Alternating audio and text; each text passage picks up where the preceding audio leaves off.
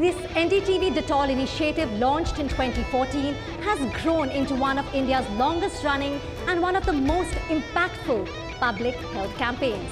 As we embark on this new season, we're not just looking ahead, we're celebrating a decade of transformation. Today marks the 10th anniversary of the Swachh Bharat mission, a revolutionary step towards a cleaner, healthier India.